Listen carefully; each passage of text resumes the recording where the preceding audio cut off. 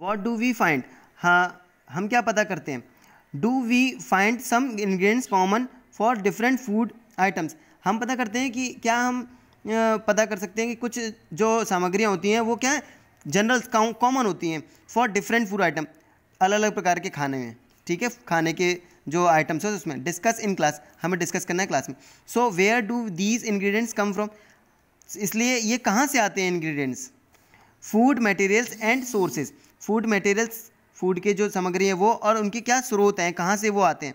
It may be easy for us ये हो सकता है हमारे लिए बहुत आ, आसान हो सकता है टू गैस द सोर्स हम guess the source of some of the ingredients that we listed in table one point two table one point two में हमने जैसे देखा कि इसमें क्या था रोटी और चपाती और इससे आटा और वाटर से बन रही थी। रोटी जो थी वो आटा और वाटर से बन रही इस तरह से। ठीक है? Fruit and fruits and vegetables for instant यानी कि जो फ्रूट होते हैं और वेजिटेबल्स होते हैं, उनका क्या उदाहरण है? कहाँ से आते हैं वो? Where do they come from कहाँ से आते हैं? Plants of sources plants source क्या है इनका? Plants what are the sources of rice और वीट क्या सोर्स होते हैं राइस के और वीट के? यानी कि चावल के और गेहूँ के। You may have seen paddy यानी पैडी मीन्स होता है आपके धान। और वीट फ़ील्ड और यू में हैव सीन आपने देखा होगा, धान की खेती और गेहूँ की खेती फ़ील्ड में, यानी कि खेतों में देखी होगी with row and rows of plants आपने कच्चा देखा होगा, फिर उसके पकते हुए देखा होगा, ठीक है प्लांट पर which give us these grains ये हमें देते हैं ग्रेन्स अनाज देते हैं ये.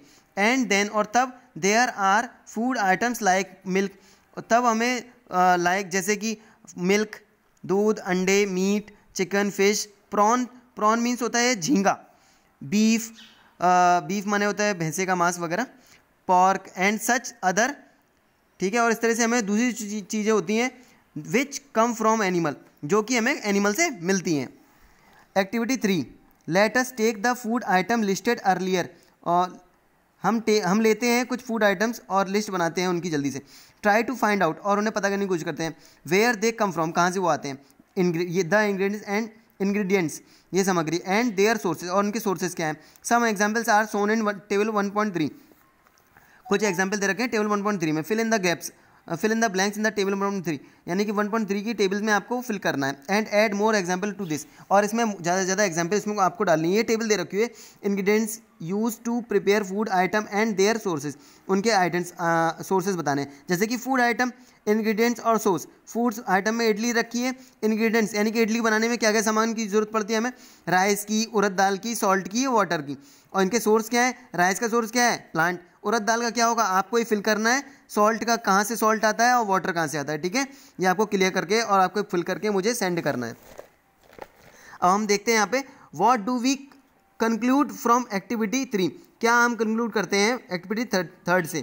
Plants are the sources of food ingredients like grains plant जो होते हैं सोर्स होते हैं फ़ूड के, खाने के खाने की सामग्री के, जैसे कि grains cereals vegetables and fruits जैसे कि अनाज कैरल्स अनाज ठीक है वेजिटेबल्स और फ्रूट्स।